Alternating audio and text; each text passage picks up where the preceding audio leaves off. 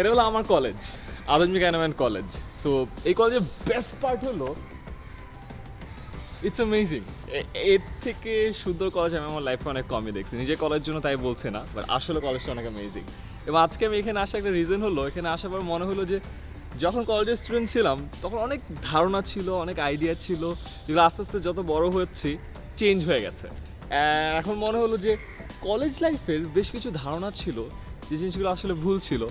আর college লাইফে যদি আমার কোনো একজন মেন্টর থাকতো বা বড় ভাই থাকতো, সে যদি কিছু আইডিয়া দিত, তাহলে বেশ মজার হইতো সো কিছু জিনিস যেটা আমি কলেজে থাকতে জানতাম না I wish I knew it when I was here at Adamji Kanaman college and this is what the video is all about.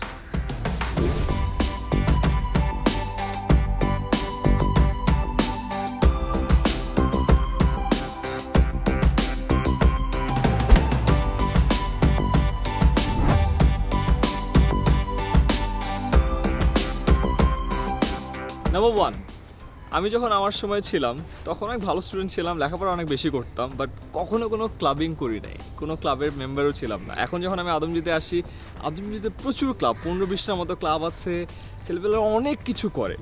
Robot বানাচ্ছে অ্যাপ বানাচ্ছে ডিজাইন করছে, বিভিন্ন কম্পিটিশনে চ্যাম্পিয়ন হচ্ছে। তো আমার সময় যখন ছিলাম, তখন না ক্লাবে জয়েন করাটা মনে হতো, আরে টাইম বেস্ট এর থেকে চিল করি ফ্রেন্ডের সাথে আড্ডা দিই, এটা করি, ওইটা করি। তাই উইশ তখন কেউ একজন থাকতো যে হয়তো হাতে ধরে বলে দিত যে, ভাই ক্লাবটা কর। এই জিনিসটা পরে অনেক কিছু শেখাবে। স্পন্সরশিপ প্রপোজাল লিখতে যায়, তুই স্পন্সরশিপ প্রপোজাল লেখা শিখবি ক্লায়েন্ট ম্যানেজ করা শিখবি, টাকা আনা শিখবি অ্যাকাউন্ট শিখবি ম্যানেজমেন্ট শিখবি, অনেক কিছু শিখবি। So that's in number one thing যেটা আমি ক্লাব জীবনে করি নাই কলেজ লাইফে বাট কলেজের যদি কোনো স্টুডেন্ট দেখে থাকো please do that the second thing কলেজে থাকতে আমি জীবনেও প্রিফেক্ট হই নাই। ইচ্ছা করে অনেকটা। এখনও মনে আছে, এই কলেজের ঠিক ওই সাইডে আদমজি স্কুলটা। ওখানে যখন আমি ফার্স্ট তখন প্রিফেক্ট বলতো না মনিটর বলতো ক্লাস ফোরে মনিটর হয়েছিলাম। কি যে খুশি ছিলাম। অ্যান্ড দেন আস্তে আস্তে যত বড় হইলাম, তখন মনে হলো, আরে প্রিফেক্ট হওয়া তো আরও খালি খাটতে হয়। কামলা খাটবো কেন? দরকার আছে। এ তো নার্ডরা প্রিফেক্ট হয়। আমি তো কুল আমি প্রিফেক্ট হব না, আমি একটু ঘুরে ফিরে বেড়াবো চিল ডিল করব। বাট নাও আই রিয়েলাইজ যারা ওই সময় কলেজে প্রিফেক্ট হয় বা ক্যাপ্টেন হয় বা হাউস ক্যাপ্টেন হয় ডিপার্টমেন্টের লিডার হয়, তাদের মধ্যে না লিডারশিপ স্কিলটা চলে আসে। একটা টিম ম্যানেজ করা শিখে যায়, মানুষ ম্যানেজ করা শিখে যায় টিচারদের সাথে ওদের লিয়াজও ভালো থাকে স্কুলের সব লোকজন কলেজের সব লোকজন ওদেরকে চিনে। সো ওভারঅল খুব ভালো একটা এক্সপিরিয়েন্স হয়ে যায় যে জিনিসটা অনেক বড় কালেও অনেকে পায় না বিকজ ও কখনো একটা টিম লিড দেয় নাই, কখনো একটা ক্লাস লিড দেয় নাই কলেজ লিড দেয় নাই। সো যারা ভিডিওটা দেখতেছো জ্ঞান এই সুযোগ যদি থাকে, কখনো এটা মিস করো না। ইয়াস কিছু কষ্ট করতে হয়, বেশ কিছু জায়গায় র্যান্ডম খাটাখাটনি করতে হয় বাট এর থ্রুতে যে এক্সপিরিয়েন্সটা পাবা it's invaluable so I regret not being a prefect in my college life the third thing কলেজে এরকম ঘণ্টার পর ঘণ্টা বসে থাকতাম আর স্মল টক করতাম। এ কি করছে, ও কি করছে, কার ব্রেকআপ হয়েছে কার প্যাচ আপ হয়েছে নতুন কে আসছে ফেসবুকে ফ্রেন্ড রিকোয়েস্ট পাঠাইছে। আই উইশ ওই টাইমটা এইসব আলতু ফালতু ছোটোখাটো কথাবার্তায় ব্যয় না করে যদি কোনো প্রোডাক্টিভ কাজ করতাম। এখন যেমন দেখে অনেক ভালো লাগে, ছেলেমেয়েরা ক্লাব করছে, বহু জায়গায় যাচ্ছে ইন্টার কলেজ কম্পিটিশনে পার্টিসিপেট করছে স্টুডেন্ট টু স্টার্ট আপ কম্পিটিশনে জিতছে, দশ লাখ টাকা পাচ্ছে, নিজের কোম্পানি দিচ্ছে। আমার আমলে কলেজ লাইফে জীবনে চিন্তাও করি না যে নিজের কোম্পানি দিতে পারি, নিজে করে একটা কাজ করতে পারি ফ্রিল্যান্সিং কাজ করতে পারি। বাট এখনকার ছেলেপেলে এরকম অনেক কিছু করে। Second the third regret that I have is small টকগুলো না করে ওই টাইমটাতে প্রোডাক্টিভ কোনো কিছু নিয়ে ডিসকাশন করা এবং ওই টাইপের কোনো কাজে নিজেকে ইনভলভ করা। দ্য ফোর্থ পয়েন্ট আমি আদমজিতে সায়েন্স ডিপার্টমেন্টে ছিলাম অ্যান্ড টপ স্টুডেন্টের মধ্যে একজন ছিলাম বাট কখনো না সায়েন্স প্রজেক্ট সাবমিট করা হয় নাই। ইন্টার কলেজ সায়েন্স যে ফেস্টিভ্যালগুলো হইতো সায়েন্স ফেস্টগুলো হইতো একটা তো যাইতামও না। অ্যান্ড দেন আমার এখনও মনে আছে একদম সেকেন্ড ইয়ারের একদম শেষে রাজুকে একটা ফেস্ট হচ্ছিল অ্যান্ড দেন আমাদের ফ্যাকাল্টি আমাকে ডেকে বলল আমার তুমি যাবা। আমি স্যার, আমি তো কিছু প্রিপেয়ার করি স্যার, ব্যাপার না, আমি হেল্প করতেছি। পরে আমরা কয়েকজন মিলে একটা জিনিস প্রিপেয়ার করে আমরা রাজুকে গেলাম অ্যান্ড ওই দিন প্রজেক্ট শোকেস করলাম অ্যাওয়ার্ড জিতলাম অ্যান্ড দেন আই রিয়েলাইজ ও, এই জিনিস তো আগেও করা যেত। এরা করলে তো আসলে সায়েন্সের ব্যাপারে ইন্টারেস্টটাও অনেক বাড়তো। এর তো অনেক কলেজের একটা ভালো স্টুডেন্টদের একটা মিলন মেলা এরা দেখে তো বেশ কম্পিটিশনের ব্যাপারেও একটা আইডিয়া হইল। সো তখন একটা আফসোস হলো যে আই উইশ এই জিনিসটা আমি যদি কলেজে একেবারে শুরু থেকে করতে পারতাম। এখন কিন্তু ছেলেমেয়েরা একদম বাচ্চাকাল থেকে সায়েন্স ফেসগুলোতে যায়। জাস্ট সায়েন্স ডিপার্টমেন্ট যারা আছে, তারা সায়েন্স ফেস না। যারা কমার্সে আছো, প্রচুর এই টাইপের ফেস্ট হয়। আর্টস যারা আছো, অনেক এই টাইপের কম্পিটিশন হয়। স্যাটেন দোজ কম্পিটিশন আমার কাছে মনে হয়েছিল এগেন ওরা তো জাস্ট নার্ডরা করে, এটা করে খুব একটা লাভ নাই। But now that I realize যে ওই জিনিসগুলো যে এক্সপিরিয়েন্স অ্যান্ড মেমোরিজগুলো দেয়, ওগুলো আসলে বাইরে কিছু দেয় না। যেমন আমার কলেজে এখানে আমার রুম ছিল, এখানে ক্লাস হইতো। আমার না মনে নাই যে আচ্ছা ক্লাসে কী ছিল, এই রেজাল্টে কী হয়েছিল, ওই মার্ক ছিল। বাট ওই যে সেকেন্ড ইয়ারের শেষে যে সায়েন্স ফেস্টে পার্টিসিপেট করলাম অ্যান্ড দেন যে অ্যাওয়ার্ডটা জিতলাম ওটা এখনও মনে আছে। So that memory sticks so তোমার যদি টাইম থাকে do participate in the competitions point number five এটা একে সব থেকে হাস্যকর একটা পয়েন্ট সো যখন কলেজে ছিলাম, তখন having female friends was so cool যে আরে, আমার তো অনেক ফিমেল ফ্রেন্ডস আছে। তারপরে মেল ফ্রেন্ডসের বিশালই আমার অনেক ফ্রেন্ড ফ্রেন্ডরা আছে। ওই জিনিসটা অনেক কুল ছিল। দেন ফেসবুকে আমার এতগুলো বন্ধু আছে, এত লাইক আসে। এই জিনিসগুলো অনেক কুল একটা জিনিস ছিল এবং কলেজ লাইফে এটা একটা ব্র্যাগিং রাইটের মতো ছিল। এখন ফেসবুকের কথাও যদি বলি ইনফ্যাক্ট হাজার হাজার না, লাখ লাখ মানুষ ফলো করে, কোটি কোটি লাইক পাওয়ার পরে আই ফিগার্ড ওয়ান থিং যে এই লাইক হলো এমন একটা জিনিস যেটা বিক্রি করে ঝালমুড়ি কটকটি কিছুই খাওয়া যায় না, এটার কোনো ভ্যালু নাই। তিনি ব্র্যাগিং করে বা ব্র্যাগিং রাইট রাখে কোনো লাভ নাই। তো বেশ হাস্যকর একটা জিনিস ছিল যে আমার অনেক ফিমেল ফ্রেন্ডস আছে, আমার অনেক ফেসবুক ফ্রেন্ড আছে। এগুলো না at the end of the day college লাইফের পরে একদমই ম্যাটার করে না। পয়েন্ট নাম্বার সিক্স কলেজ লাইফে আলফা মেল হওয়ার একটা কম্পিটিশন থাকতো যে, আরে, কে কত পপুলার কে কত ডমিনেটিং কে কত বুলি কে কত পচাইতে পারে, কে আছে এমন যে একদম জোক মারে আরেকজনকে পচায় লাল করে দেয়। এবং এটা একটা কম্পিটিশন থাকতো যে যে যত বুলি যে যত ডমিনেন্ট যত লাউড কথা বলে, সে তত কুল আর কি। সো এইটা একটা বাজে কম্পিটিশন ছিল এবং যেটার কারণে একটা কম্পিটিশন থাকতো কে কাকে কত পচাইতে পারে। এখন মনে আছে, এই বডকাস্ট তখন এত সুন্দর করে বাঁধানোও ছিল না। সো এইখানেও বসে প্রচুর কাজ হতো যে নর্মালি কেউ আসছে, চল বন্ধু আজ করে পচাবো। অ্যান্ড দেন পচানোর কম্পিটিশন হইতো যে আরে ওরে পচাইতে একদম লাল করে দিছি মামা, কি যে করলাম ওরে, ধ্বংস করে দিছি। সো কলেজ লাইফে ইনফ্যাক্ট স্কুল লাইফের ধরনের একটা কম্পিটিশন থাকে যে কাউকে পচাইলে আমার দামটা বেড়ে যায়। কাউকে ডিমিন করলে বা ছোট করলে আমি অনেক কুল হয়ে যাই। এটা আসলে হয় না।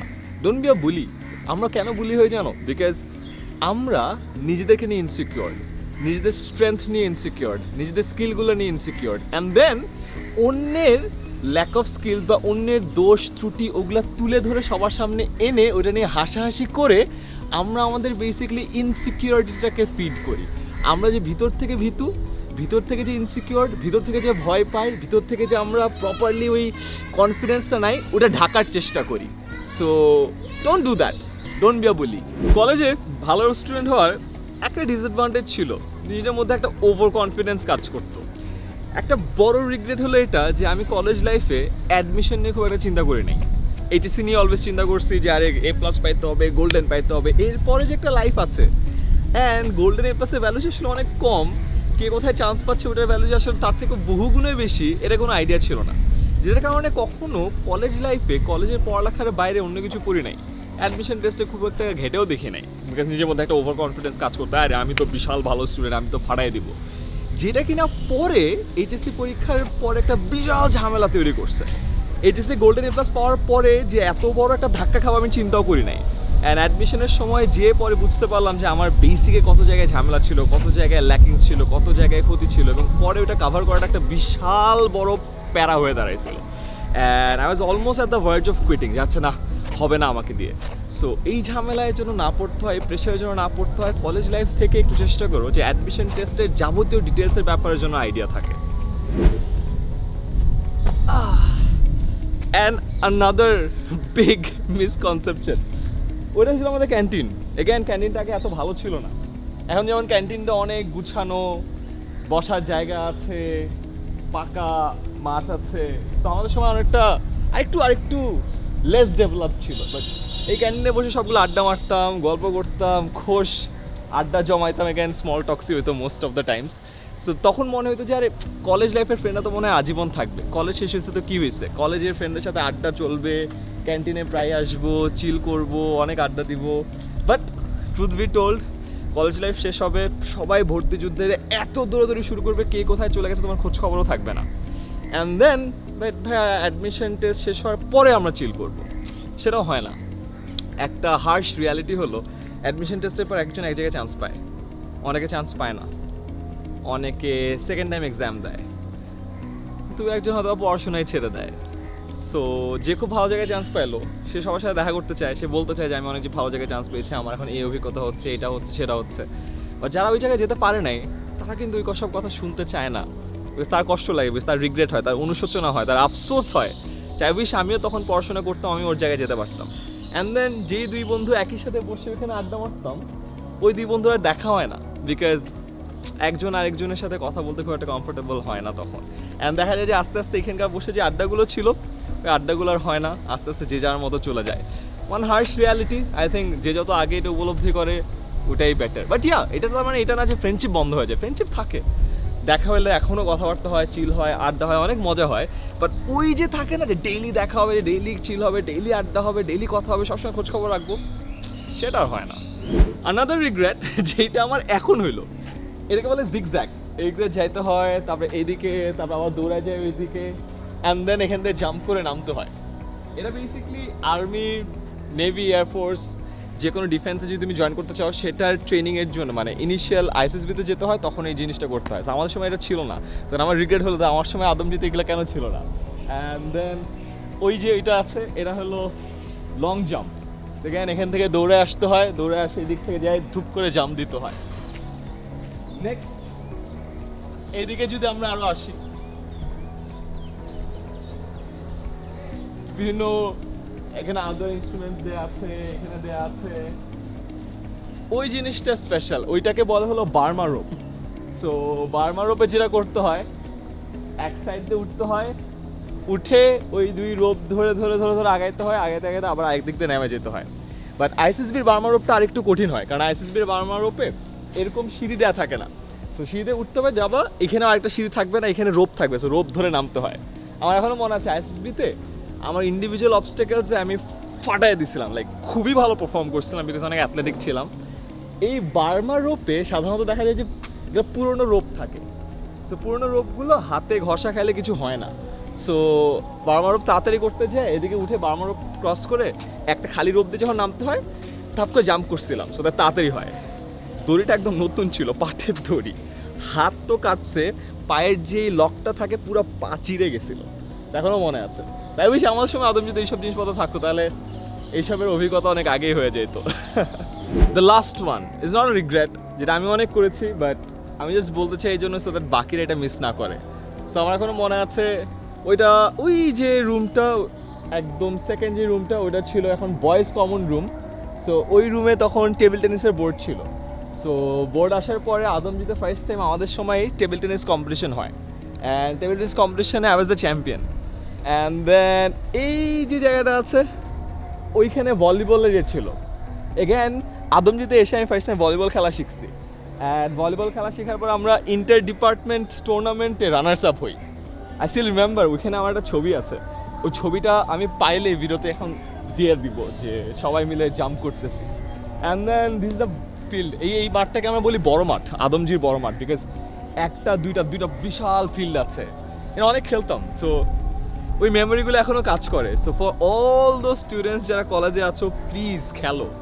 Table tennis volleyball cricket badminton football যা পারো খেলো। Because at the end of the day লাইফের এই মেমোরিগুলো অনেক দিন থাকবে তোমাদের সাথে। So these are the things that I wish I knew in my college life so আমার অভিজ্ঞতা থেকে, আমার এক্সপিরিয়েন্স থেকে এই জিনিসগুলো তোমাদের সবার সাথে শেয়ার করলাম। সো দ্যাট তোমরা যারা স্কুল কলেজে আছো তোমরা যেন আমার রিগ্রেটগুলো থেকে কিছু হলেও শিখো এবং তোমরা এই ঝামেলাগুলোতে যেন কখনোই আর না পড়ো। সো বেস্ট উইশেস তোমার স্কুল এবং কলেজের ফ্রেন্ডদের সাথে ভিডিওটা শেয়ার করো সো দ্যাট তাদেরও এই আইডিয়াগুলো হয়ে যায়।